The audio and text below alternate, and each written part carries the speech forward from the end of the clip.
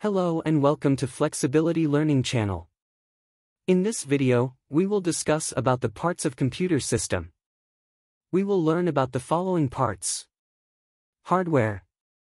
Software. Data. User. In this video, we will also learn about the subcomponents of computer which come in these parts. So let's get started. First of all we will study about hardware. Hardware refers to the physical components of a computer system. These components include Central Processing Unit, CPU. The CPU is the brain of the computer and is responsible for executing instructions and performing calculations. Memory, RAM. RAM, random access memory, is used to temporarily store data and program instructions that the CPU needs to access quickly. Storage devices. These include hard drives, HDDs, solid-state drives, SSDs, and other media used for long-term data storage. Input devices. These devices allow users to input data into the computer. Examples include keyboards, mice, touchscreens, and microphones. Hardware also include Output devices. These devices display or provide information to the user. Examples include monitors, speakers, and printers. Motherboard.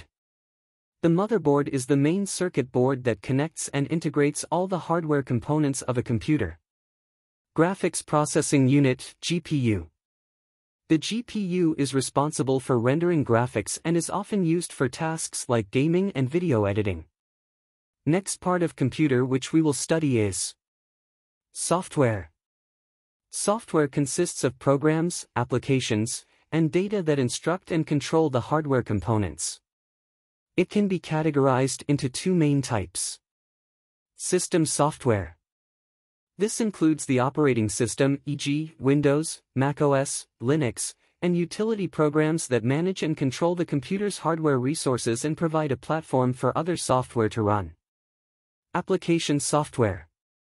These are programs designed for specific tasks or functions, such as word processors, web browsers, video games, and productivity software.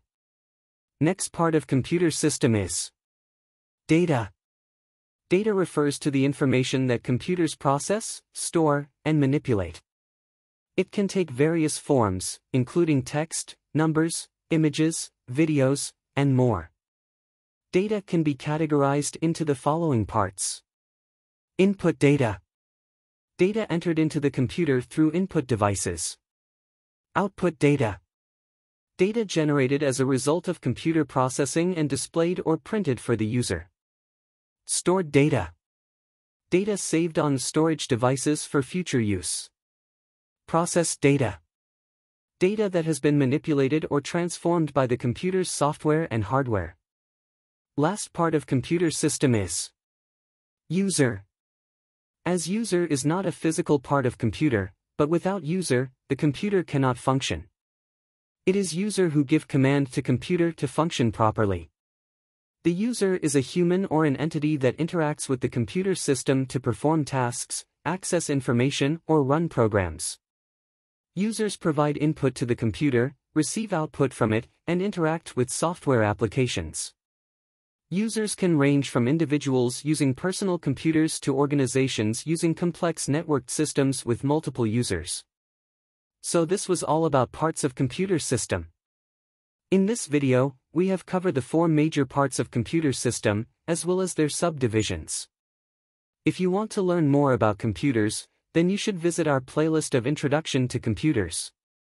All the important and basic things about computer are discussed there. Also by watching those videos, you can become expert in computer. Thanks for watching this video. If this video was helpful, do like and subscribe this channel for future learning.